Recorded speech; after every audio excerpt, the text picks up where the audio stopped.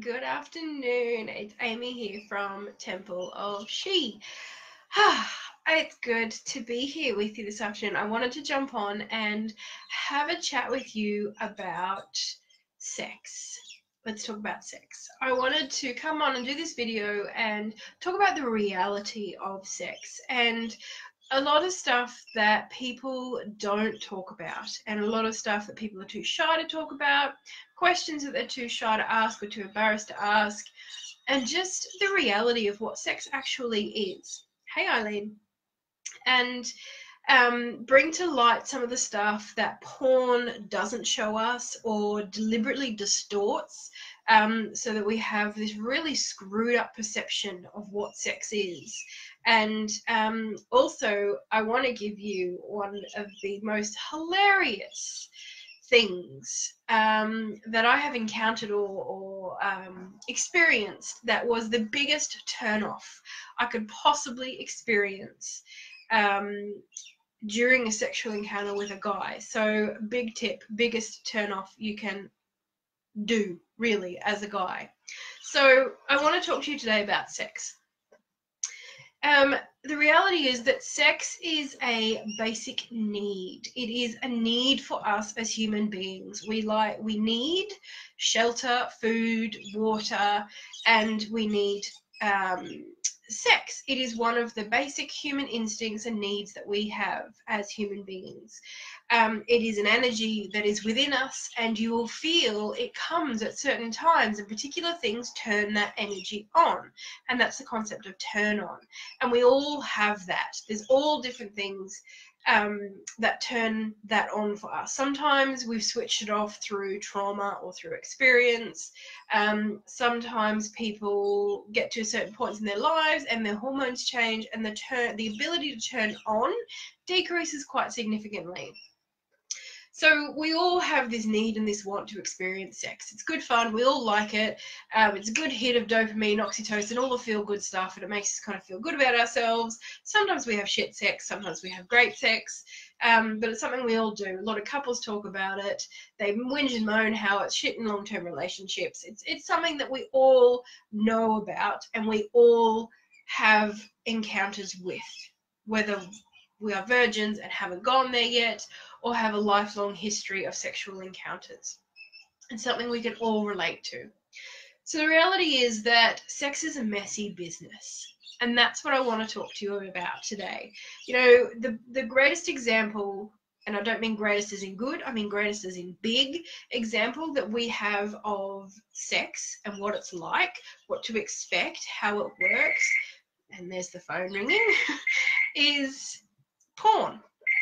Porn shows us the unrealistic expectations of what sex actually is. It shows us immaculate men and women. It shows us men with large penises. It shows us clean sex, unless you're looking for a particular type of sex but it doesn't show us the reality of it. It doesn't show us all the body fluids that are involved in sex. And that's a reality of it. We are human beings that are 70% water and have a shitload of body fluids that have all kinds of different functions and different orifices that they come out of. So involved in sex, we have saliva, obviously, and we have these things called mucous membranes, which are in our mouth and they're in our vaginas. Absolutely, Beck. So unrealistic in so many ways, even with the anatomy that they represent. And that is one of the reasons why the women today have the biggest hang ups about our vulva and our labia and what they look like is because pornography has shown us for about 40 years now that a vagina should look like this petite little girl's vagina that's very neat with no labia that's flopping or hanging or anywhere else. And it, it started in the centerfolds um, of um, pornographic magazines. And they didn't show women with large labia because they felt that was more graphic. So we'll stick with the less graphic and the very neatly closed little labia that are, are neat and tidy.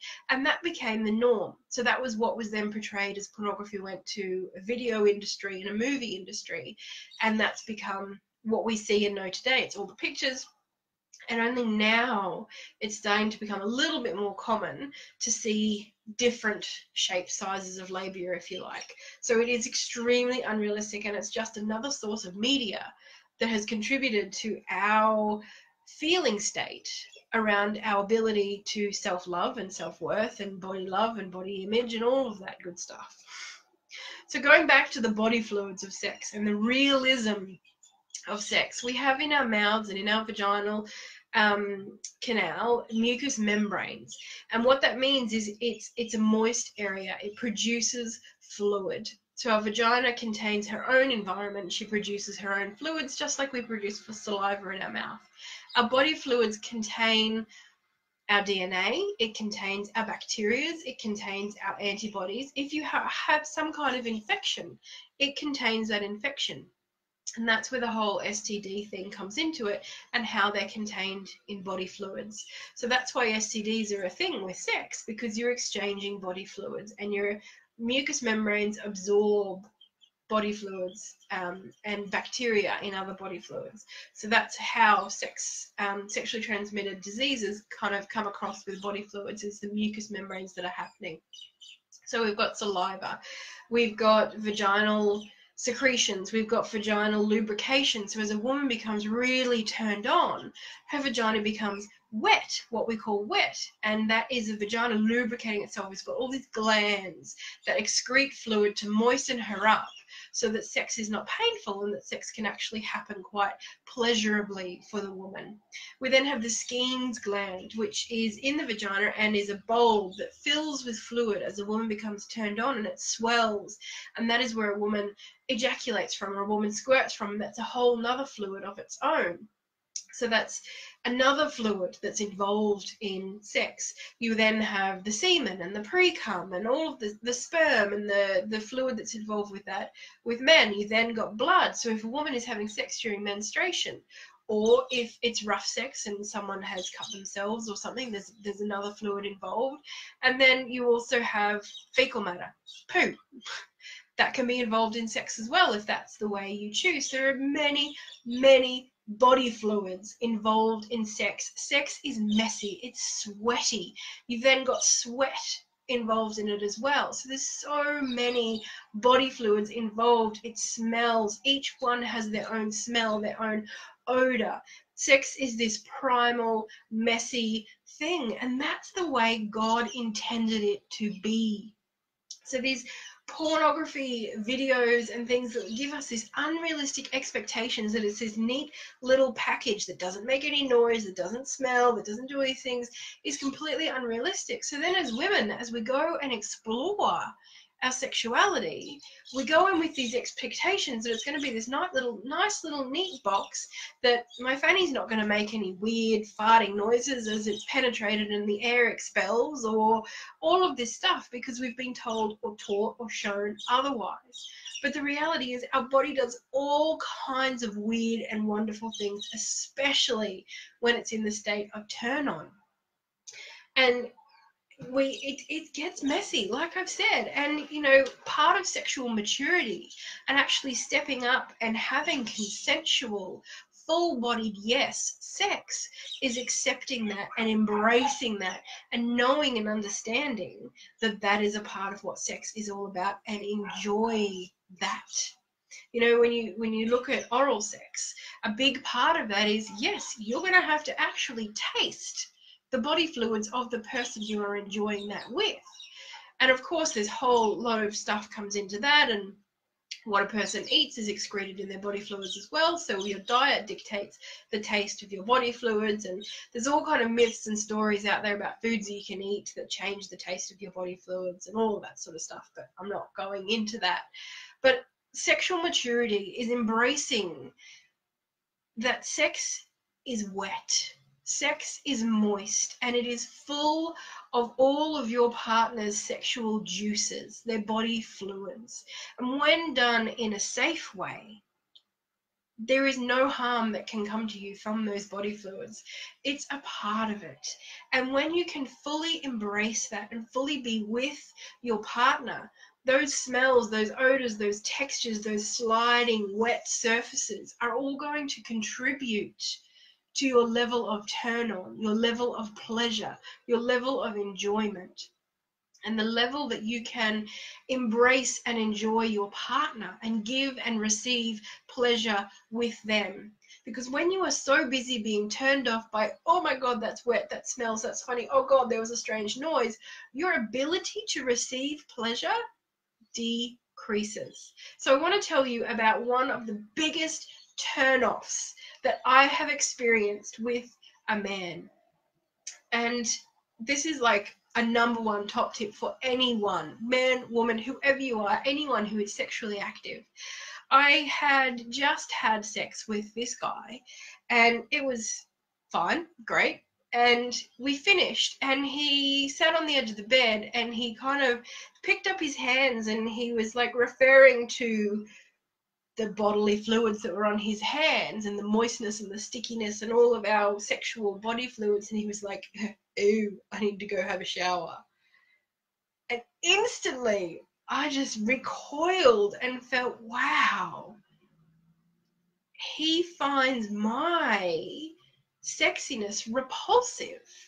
I know that's not what actually was happening, but it was the biggest turnoff to see a man who found what is produced as a result of turn on to be a turn off and actually disgusting and repulsive. And I'm not saying you need to roll around in each other's sexual juices. Go ahead if you want to. But in fully embracing your sexual maturity, you need to accept that that's a part of turn on. That is a part of pleasure and embrace it, play with it. Don't be inhibited by it. Don't be turned off by it.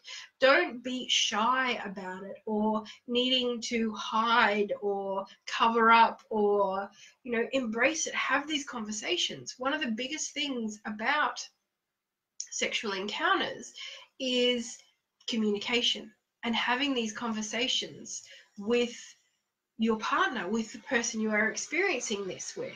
And, you know, how do you feel about this? How does that make you feel? Full communication elevates your ability to receive and give pleasure. So, that is what I wanted to talk to you about the realism of sex. Absolutely, Beck. Sex is messy and magnificent only if you embrace it. If you are inhibited in any way by it, it's going to reduce your ability to experience pleasure, especially for women. We are full sensory beings. For us to experience our full potential of pleasure and orgasm, we have to have every part of our senses that we use in sex feeling comfortable and turned on. And if there is any nagging thought there, it's going to reduce that limit, that limitlessness of pleasure. Thank you so much for all you gorgeous people for joining me. If you have any questions, if you want to know anything at all, drop them in the comments and I will be happy to answer. Go and have some juicy, messy, fabulous sex and embrace your body fluids. bye bye.